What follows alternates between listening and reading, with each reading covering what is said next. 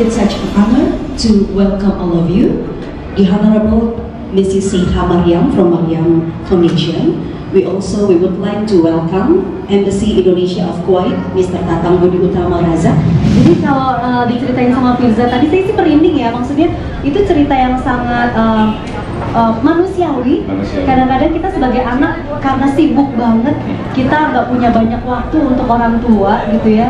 Um, di tengah kesuksesan kita padahal ada doa orang tua di sana gitu ya. Ya benar. for International Business Forum Istanbul, Indonesia that will be held for three days until 19 July 2017.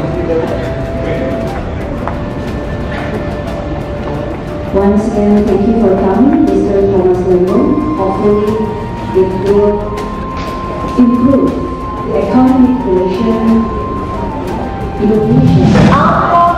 pertanyaan F untuk paslon nomor urut 2?